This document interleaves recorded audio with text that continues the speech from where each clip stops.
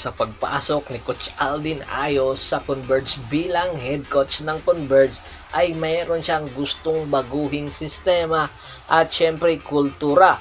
At gusto nga nito ang palaban na Converge. Kaya naman hindi pa nagsisimula ang Commissioner's Cup ay naghahanda na si Coach Aldin Ayo sa isang blockbuster trade na mangyayari between Phoenix Fuel Masters at ng Converge na kung saan involving nga ang kanilang big man na si Ben Adamos at si Kurt Lahera. Si Ben Adamos nakuha ng Converge noong 2020 sa first round pick number 6 sa first round. Samantalang si Kurt Lahera nakuha naman ng Converge via trade sa Blackwater Bossing na kung saan ibinigay nga nila ang kanilang big man na veterano na si Yusip Taha para lang makuha ang serbisyo na meron si Court Lohera. Matatandaan, si Court Lohera ay bilang second unit na ginagamit ni Coach Jeff Carriaso.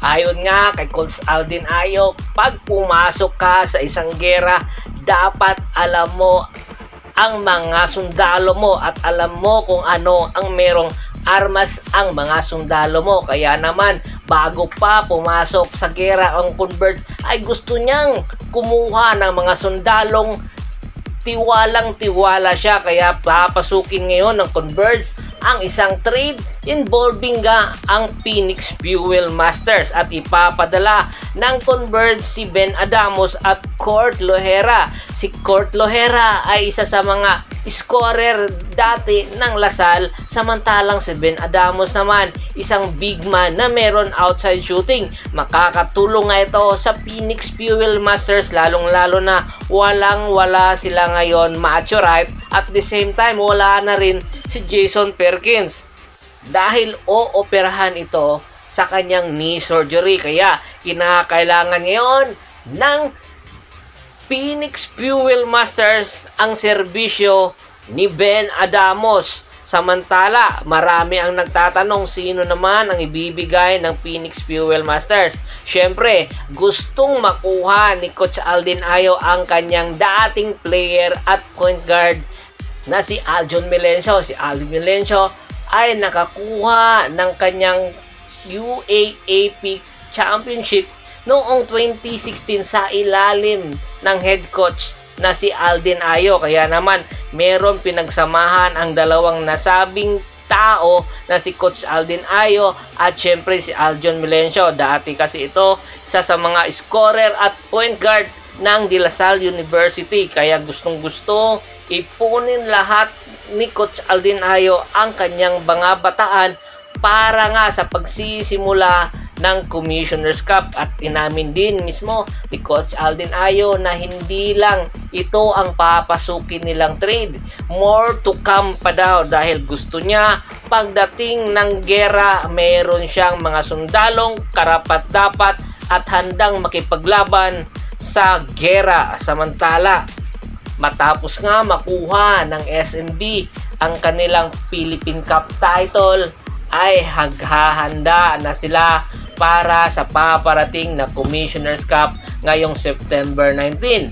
At ayon nga mismo kay Coach Leo Austria ay hindi pa sila nakakaplano kung sino at kailan sila mag-uumpisa mag-ensayo dahil nga gusto muna magpahinga ng team dahil nga sa katatapos na Philippine Cup ay mga pagod pa ang nasabing mga player.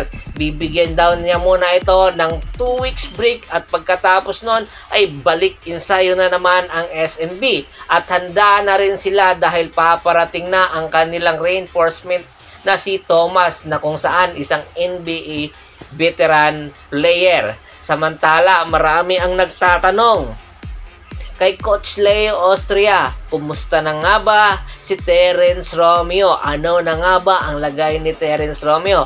Ayon nga kay Coach Leo Austria, ay meron daw improvement na ang nasabing injury ni Terence Romeo. Sa katunayan nga, ay unti-unti na itong bumabalik sa dati niyang shape at posible ay sa susunod na konferensya ay po pwede na nilang gamitin si Terence Romeo. Kaya naman kaabang-abang ang SMB dahil badly needed nila si Terence Romeo kung kailangan nila ng isang shooter at syempre scorer ay doon sila tatakbo kay Terence Romeo at kinakailangan din ni Junmar Fajardo ng isang outside shooter na kung saan maibibigay nga ni Terence Romeo. At tinanong si Coach Leo Astria, ano ba ang sistema or ano na ba ang lagay sa nasabing trading block or nakalagay daw sa trading block si Terence Romeo. Totoo nga ba?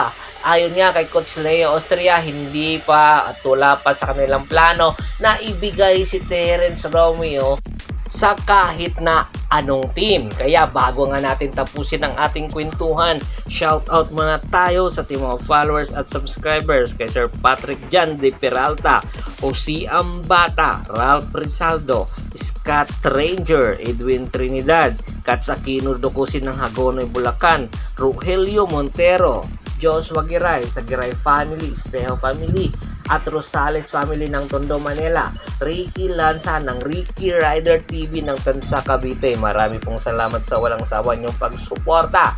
Once again, this is Percival Monteron at your service. Don't forget to subscribe my sports channel at don't forget to click the notification bell button para nga maging updated palagi sa kwentuhan. Hanggang sa muling kwentuhan, maraming maraming salamat po.